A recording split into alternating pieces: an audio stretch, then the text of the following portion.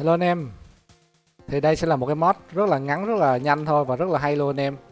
Tại vì nó sẽ giúp cho anh em chơi game một cách chân thật hơn. Và nó gọi là thung lũng gió nha. Và thực tế là nó chỉ là mod à, cho gió vô trong game thôi Để cho game nó linh động hơn. Thì anh em có thể xem. Đây này, gió này nó hoạt động một cách là gọi là Nó sẽ thổi, thỉnh thoảng nó sẽ thổi anh em.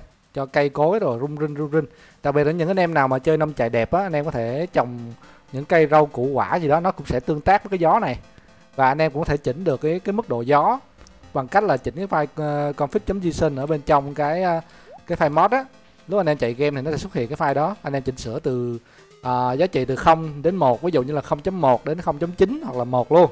Thì anh em có thể chỉnh để cho gió nó linh động hơn.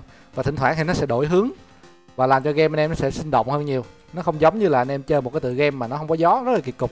Đặc biệt là đây là một cái tựa game mà phải nói là rất là thiên nhiên rất là hòa, dân dã anh em ha. Thì nó phải có gió đó. Thì à, vài ngày hôm vài hôm nữa thì mình sẽ cho anh em thêm 52 loại cỏ mới để cho nó đẹp hơn và kết hợp với cái gió này rất là đẹp. Rồi thì clip nó chỉ đơn giản là thôi nha anh em.